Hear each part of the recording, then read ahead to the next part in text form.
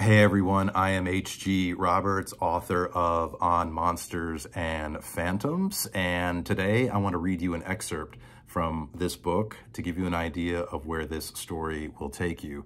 This is a book that I hope will change the way you see yourself and the world around you if you're still haunted by memories from your turbulent and traumatic past if you're still mired in depression or anxiety or excessive fear or even addiction like I was, then I hope you'll have the courage to explore this book and try to make new meaning uh, from your experiences and your life. Connect the dots, as I like to say.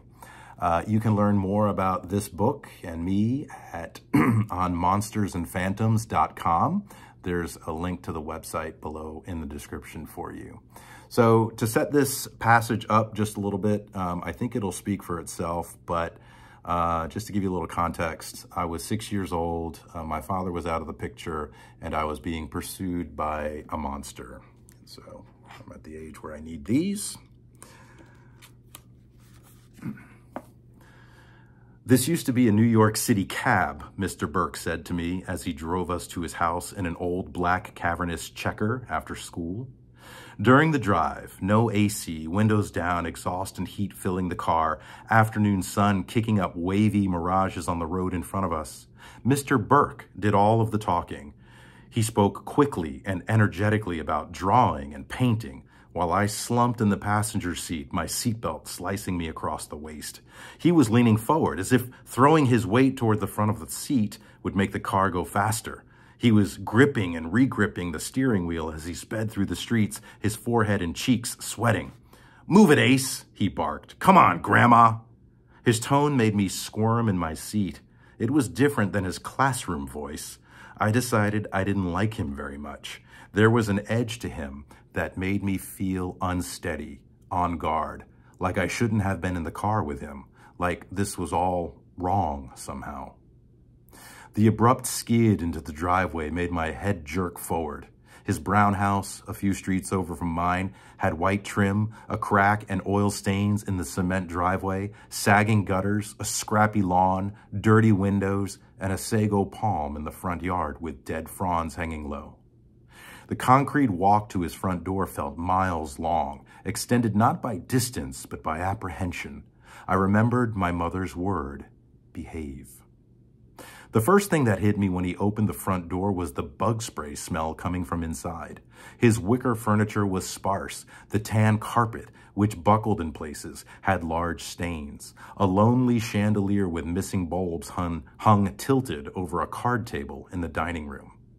A stereo was propped up on cinder blocks, and there were cobwebs in the corners where the vaulted ceiling met the walls. There wasn't much art. A couple of posters, Led Zeppelin and Black Sabbath, were tacked crookedly with pushpins on the dining room wall. Light struggled to pass through the place. It didn't seem welcome.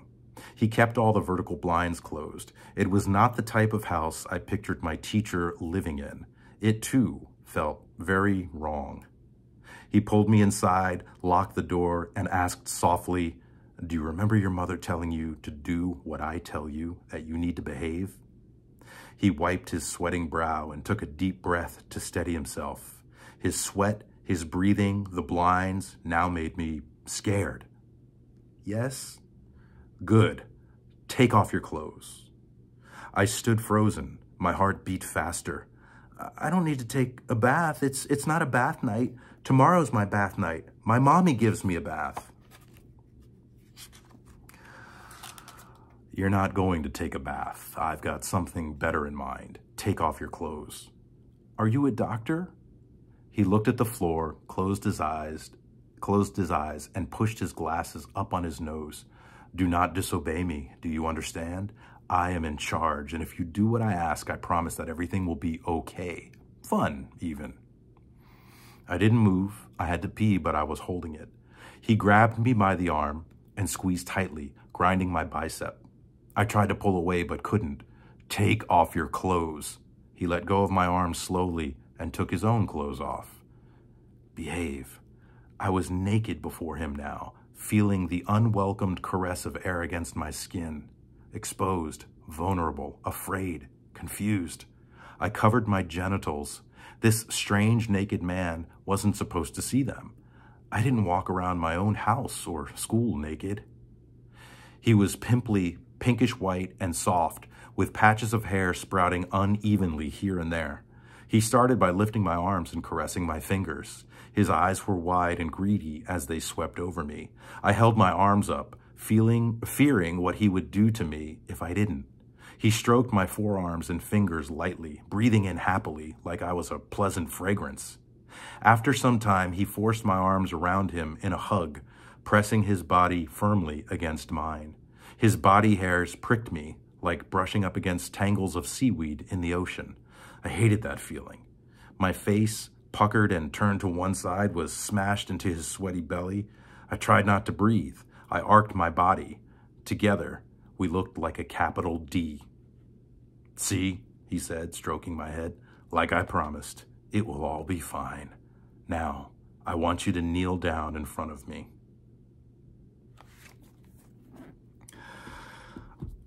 I don't know if what I read just resonated with you or how you received it, um, but if it did, I really encourage you to get a copy of the book and read the rest.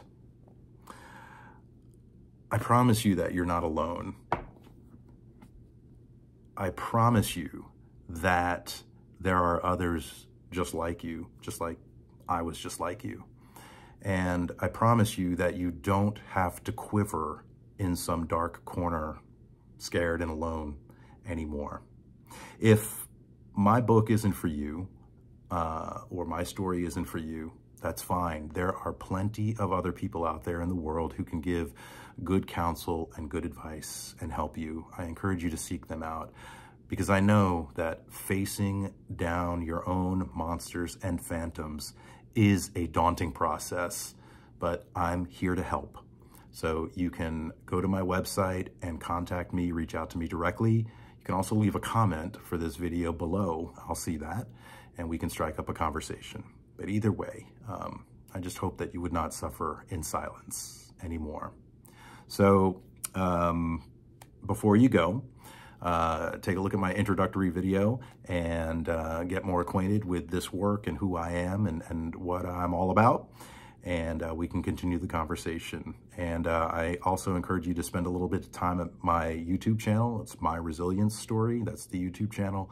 And uh, you'll hear other stories from people just like you and me. So thank you so much for listening. I appreciate it. Like and subscribe, of course.